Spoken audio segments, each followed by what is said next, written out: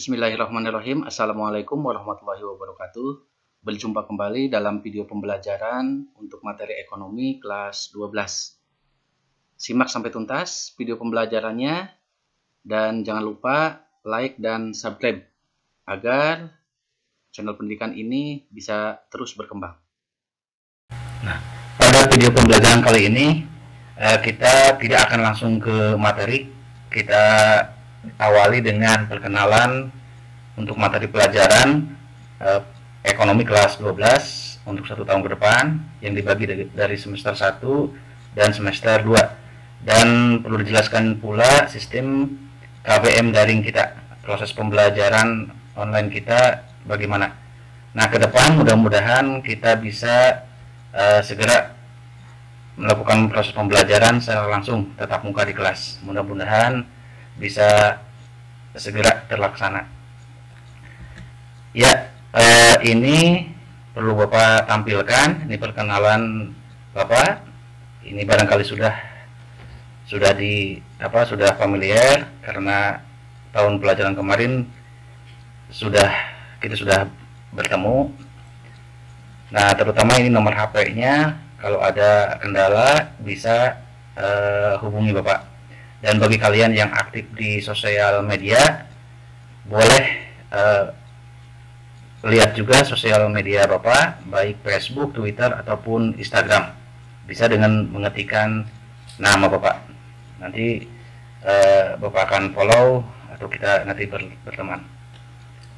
Nah untuk materi pelajaran pelajaran ekonomi kelas 12 ini untuk satu tahun ke depan baik semester 1 maupun semester 2 kita akan membahas materi tentang akuntansi.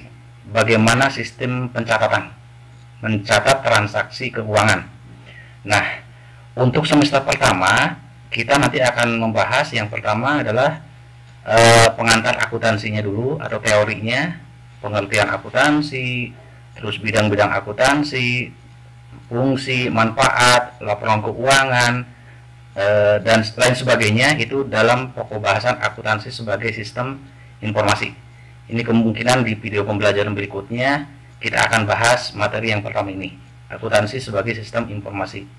Terus berikutnya adalah eh, kita akan membahas tentang materi persamaan dasar akuntansi di semester satu ini.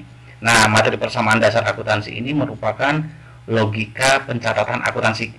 Jadi e, dikenalkan bagaimana cara mencatat akuntansi e, secara umum secara umum dulu. Jadi belum masuk ke tahapan siklus akuntansinya jadi ingin dikenalkan bagaimana e, logika akuntansi e, dalam mencatat transaksi keuangan itu di di apa di bekerja. Bagaimana akuntansi bekerja ketika mencatat transaksi keuangan. Jadi ini pengenalan pencatatan transaksi keuangan secara umum. Jadi ini logika dasar uh, dari dari pencatatan akuntansi. Itu akan dibahas dalam materi persamaan dasar akuntansi. Nah, berikutnya nanti kita akan masuk ke materi materi namanya siklus akuntansi perusahaan jasa. Jadi kita nanti akan mulai proses pencatatan pencatatan transaksi keuangan sampai dengan uh, tahap penyusunan laporan keuangan dan sebagainya untuk perusahaan jasa. Nah, apa itu perusahaan jasa? Nanti kita bahas di video pembelajaran berikutnya. Dan nanti untuk semester 2 kita akan membahas bagaimana tahapan pencatatan akuntansi untuk perusahaan dagang. Ini artinya ada perbedaan karakteristik antara perusahaan jasa dan perusahaan dagang. Dan bagaimana cara mencatat dalam akuntansinya? Ini ada dua ada dua sis ada dua materi yang berbeda. Nah, siklus akuntansi perusahaan jasa di semester 1 dan nanti di semester 2 kita akan bahas siklus akuntansi perusahaan dagang. Nah, ini adalah siklus akuntansi. Jadi siklus akuntansi baik di perusahaan jasa maupun di perusahaan dagang secara umum akan seperti ini. Jadi nanti kita akan menghadapi transaksi membeli barang atau membeli peralatan atau membayar tagihan listrik. Transaksi transaksi keuangan. Lebih jelasnya nanti apa itu transaksi nanti dijelaskan. Nah nanti akan dicatat ke tahap yang pertama namanya jurnal umum. Terus berikutnya akan dicatat dalam buku besar. Berikutnya akan dicatat dalam neraca saldo. Terus kita membuat surat penyesuaian. Terus ada tahapan kertas kerja membuat laporan keuangan. Surat penutup dan balik lagi nanti di tahun berikutnya atau periode berikutnya menghadapi transaksi lagi dicatat dalam jurnal umum lagi itulah yang mana siklus jadi kenapa disebut siklus karena tahapan pencatatannya nanti akan berputar dan kembali lagi uh, ada awal periode, ada akhir periode, masuk awal periode yang baru. Nah, akuntansi nanti yang akan kita bahas, kita akan membahas tahapan akuntansi seperti ini. Umum, buku besar, neraca saldo. Apa itu umum, buku besar, neraca saldo dan seterusnya? Nanti kita akan bahas di video pembelajaran berikutnya nanti di materi siklus akuntansi perusahaan jasa dan nanti di semester 2 ada siklus akuntansi perusahaan dagang. Nah, secara umum akuntansi itu produknya laporan keuangan. Nah, laporan keuangan ini nanti akan digunakan eh, ketika berinteraksi dalam dunia bisnis. Jadi ketika di dunia bisnis, maka inilah eh, bentuk komunikasinya dengan melihat laporan keuangan. Kita bisa melihat kinerja keuangan sebuah perusahaan dilihat dari laporan keuangan. Sehingga akuntansi itu sangat besar eh, peranannya sangat penting peranannya dalam kelangsungan perusahaan seperti itu. Nah, itu tadi materi eh, yang akan kita bahas di mata pelajaran ekonomi kelas 12 baik semester 1 maupun semester 2. Nah, untuk KBM daring kalau dilaksanakan secara daring, nah ke depan ini beberapa pertemuan ke depan sepertinya kita masih daring.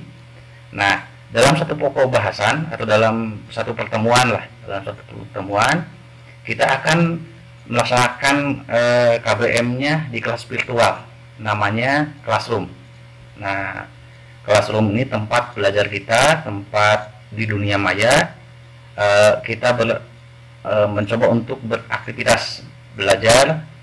Nah aktivitas belajarnya itu nanti yang pertama Bapak akan menyediakan ruang absen kehadiran.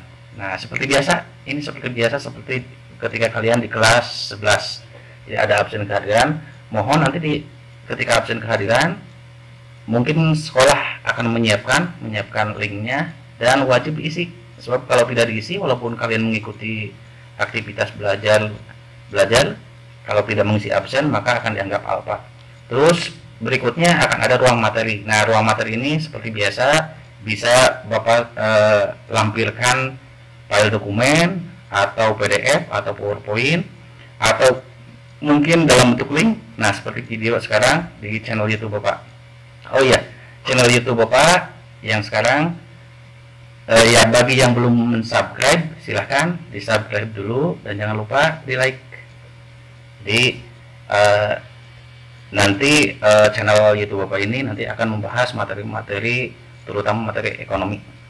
Ke depannya nanti akan dilengkapi dengan materi kelas 10, 11, dan kelas 12. Terus berikutnya ada ruang aktivitas latihan atau penugasan. Jadi begini, ketika kalian sudah mempelajari ruang materi pembelajaran, baik dengan file, file PDF atau diberikan PowerPoint atau mem, menyimak video pembelajaran di YouTube misalkan. Nah, sebagai bukti bahwa kalian sudah menyimak video pembelajaran, sudah mempelajari materinya dari awal sampai akhir, maka Bapak ingin ada bukti. Nah, buktinya sederhana saja. Kalian tinggal dicatat materinya di buku catatan dan nanti di foto. Nah, fotonya nanti dikirimkan di classroom. Nanti Bapak akan menyiapkan ruang penugasan seperti itu. Dan bisa juga nanti di e, pertemuan tertentu hanya dalam bentuk aktivitas latihan saja. Jadi kehadiran dan latihan soal seperti itu. Terus kalau memungkinkan nanti Bapak akan membuka ruang diskusi. Jadi Bapak akan lemparkan uh, topik permasalahan, nanti kalian bisa menanggapi. Ini kalau memungkinkan. Terus berikutnya uh, dalam satu semester Bapak ingin ya satu kali atau dua kali lah ada uh, kita menggunakan video conference ya pakai Google Meet atau Zoom. Nanti ini lihat situasinya, lihat situasi um, lihat dari karakter materinya pokoknya eh, satu kali atau dua kali dalam satu semester bapak ingin bertemu secara virtual. Terus berikutnya, biasanya kalau sudah selesai dalam satu pokok bahasan, Bapak akan ada menyediakan ruang evaluasi akhir. Nah, berupa ujian online, tes online.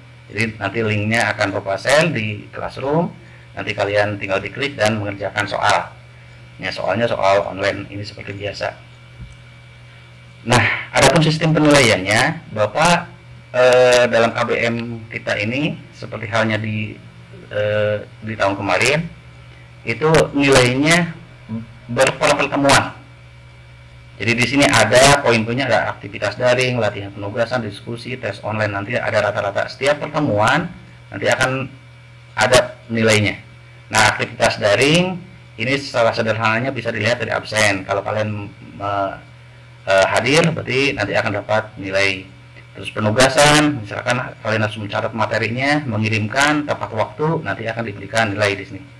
Dan e, berdasarkan pengalaman yang sudah-sudah ini banyak yang terlambat nih. Kalau padahal hanya mencat, e, menyimak video pembelajaran YouTube menuliskan di buku catatan dipoto dikirimkan sederhana seperti itu penugasannya. Terus kalau e, dalam satu pertemuan misalkan hanya ada diskusi saja berarti penilaiannya absen dan nilai diskusi saja atau kalau dalam satu pertemuan eh, kita ulangan misalkan. Berarti nilainya hanya aktivitas absen jadi belum kalian belum mengerjakan soal pun kalau kalian mengisi absen berarti sudah dapat nilai. Nah nanti nilai tes online lainnya berapa nanti akan akan bapak rata-ratakan seperti itu. Nah itulah sistem penilaian di KBM daring kita nanti. Demikian eh, video pembelajaran kita kali ini yang berisi tentang perkenalan, terutama perkenalan materi dan sistem pembelajaran daring. E, Bapak harapan kalian bisa mengikuti e, proses pembelajarannya, jaga kesehatan dan tetap semangat. Assalamualaikum warahmatullahi wabarakatuh.